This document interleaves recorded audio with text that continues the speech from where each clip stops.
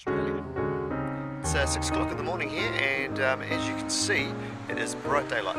Beautiful, beautiful morning. So I'm just going to take a bit of a wander around the city and uh, see what we come across.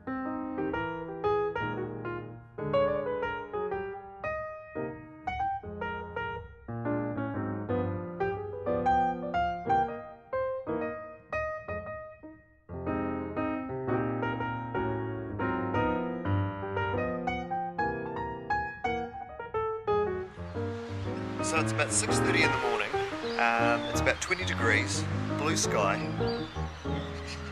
Perth, you're on the other side of Australia, you feel like half a world away, but you're actually a pretty bloody nice place. As the Australians say.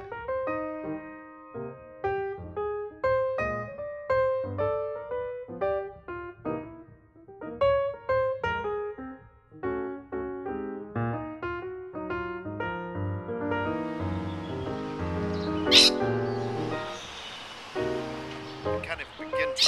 this grass looks like by the end of summer, but I don't think it'll be this green. Some great parklands um, along the waterfront here. I've walked along um, the opposite direction to I this morning, and um, it's just beautiful.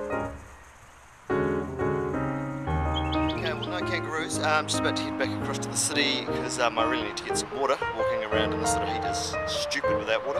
And probably need to think about getting some lunch and then on to the library tour this afternoon. I feel kind of turned Um, around in this place too. The sun's rising in what I think should be the west, but it's actually the east. Where I think should be east is apparently the west or the, the, the west. Um, so Fremantle's down that way somewhere.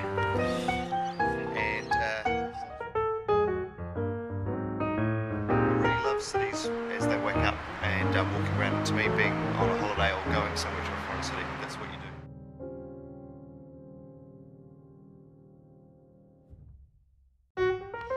Now this is good coffee.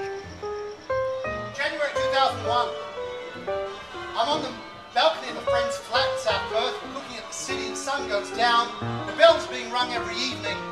And it's very, very nice, very scenic, very ambient. And occasionally there's another noise, a kind of metallic, clanging noise.